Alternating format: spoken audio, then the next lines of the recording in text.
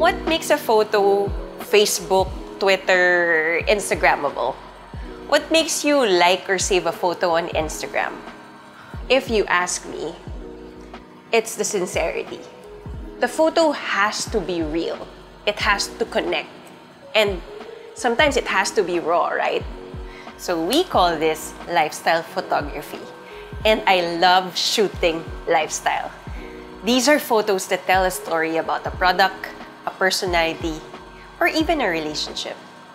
It's a great way to connect to your audience and tell them a story. In a way, it's everyday art. So today, I'm gonna teach you guys how to take better lifestyle photos. Photos that are more relatable.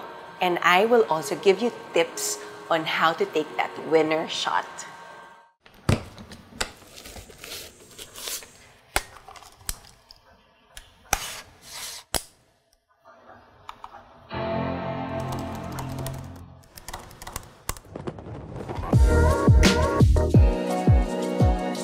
So today we're here at Kape Kweba. This is Candid Coffee's secret roastery.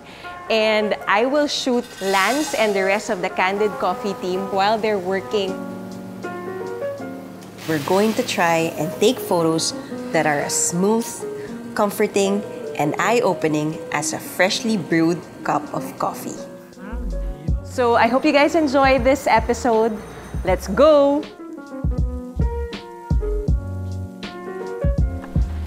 Tip number one, find the light. Light is the most important element in photography. So, the first thing that you need to do is to look for a light source that you can take advantage of. For this shoot, I used their window as my main source of light and a reflector to even out the shadows of my subject. And since it was so gloomy that day, the quality of light coming from the window was very soft and diffused. It was actually the perfect kind of lighting for the treatment that I was aiming for. Imagine this a perfect cup of coffee on a gloomy day. That's very comforting, right? To tell you guys quite honestly, I hate strobes. I am more of a natural light shooter because I want my images to look more natural and genuine. Besides, I am shooting real people and not models. The secret to lighting is looking at light. Looking at light as the camera does. So, knowing how your camera can record light is a sure way for you to understand and take better photos. Tip number two use the environment to tell a story. Lifestyle photos are more interesting when you incorporate the location or a background in your composition. So an example is this particular shot where I asked the Candid Coffee team to just hang out in front of their roastery. And that way, I'm giving the audience a story, giving them a glimpse of who these people are, what they do, and where they are. Kasi yung background, merong giveaway na nasa coffee shop sila. Tip number three give your subject something to do. Emotions make an image powerful. And when you're dealing with people who are not really used to posing in front of the camera, the secret is movement. So obviously, the Candid Coffee team wanted candid shots. So I made them do what they do best make coffee and enjoy their coffee. So when I shoot details no, for lifestyle photography, I love including a human element or a human touch to it just so it feels more real and it's more relatable. So in a particular shot, I asked Julia to like cut the banana loaf and then I included her hand in the photo. In that way, imbes na parang sobrang product photography lang, we include this human element which is the hand and that makes a big difference to the photograph. So you can always include movement to your detail shots. For example, this particular espresso shot going down the Pora filter. Since I'm a coffee lover, it's a big deal for me looking at crema. Sobrang nakaka-excite siya. So always find that element that you can include to your shots to entice your audience. I also took some portraits of Lance and his fiancée, Wendy. And since both of them are not so used to posing in front of the camera, we tried different movements and postures that feel organic to them. Sige lang, go ahead. Go ahead. Wendy, look at Lance. Always remember that expressions are very important. Nice. A drink ng coffee,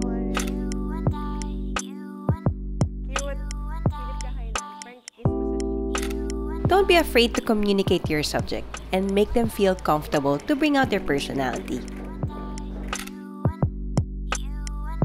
So guys, don't be afraid to play with your angles. Pwede kayong mag-low angle, mag-high angle. Okay, hindi naman kailangan parating eye level yung shots. So for example, this shot, I positioned Pat and Kat in the staircase.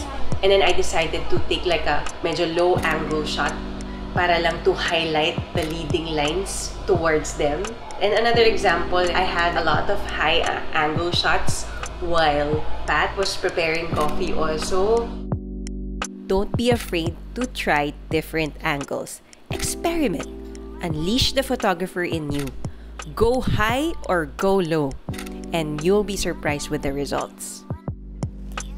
Always remember that when you're shooting lifestyle photos, it's important that your lines are straight in your images because it gives an impression that it's happening in real life. Because as you notice, when the angles are canted, and they actually do that in horror movies, you know that something is wrong. And you wouldn't want that in your lifestyle images. So just make it a point that your lines are always straight. Tip number five add layers your shots.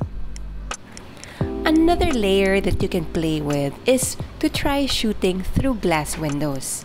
It adds depth and some mystery to the shot as if you're inviting your audience to peek or eavesdrop to your subject's life.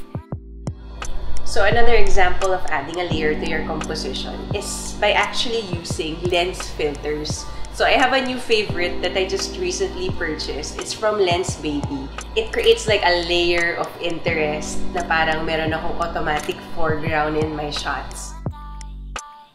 So there you go guys, the 5 tips on how to take better lifestyle photos. All the elements that I mentioned to you when combined together will definitely create a beautiful photograph. Always remember, practice makes perfect. Don't forget to take a lot of photos. It's not rocket science, guys. So if you like our content, please don't forget to like and subscribe our channel. It's really gonna help us produce better videos for you. So guys, don't forget to keep shooting and trust the process. I'm Jaja Samaniego. Till next time!